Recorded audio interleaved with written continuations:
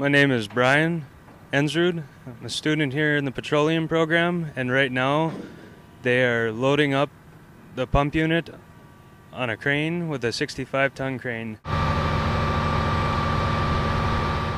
They're going to take the pump jack to go and get painted by Nodak Oilfield Service.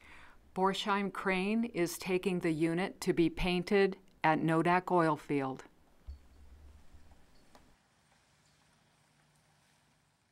B&G Oilfield is placing Class 5 gravel supplied by Knife River into the pad where the unit will be placed. B&G is spreading the gravel that's been placed.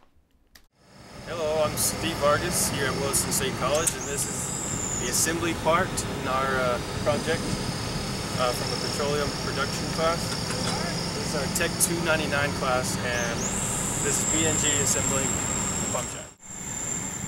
Makoti Concrete brought the concrete pad to the site. B&G has already placed the concrete pad on the site. We now see Borsheim Crane placing the gearbox on the concrete pad.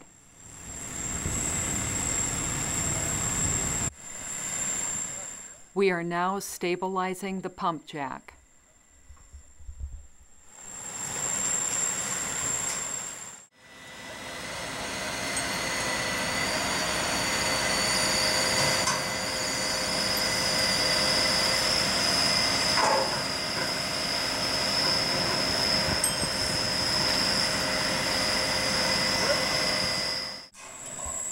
We are locked and loaded.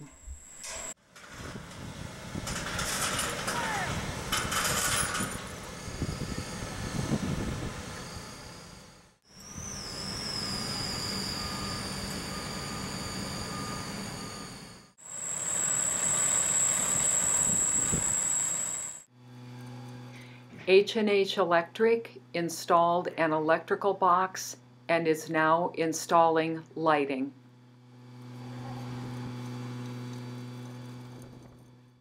In reflecting on the project, college president Dr. Ray Nadolny stated, Williston State Petroleum students worked with a dozen companies to install a pump jack unit at the front of the CTE building.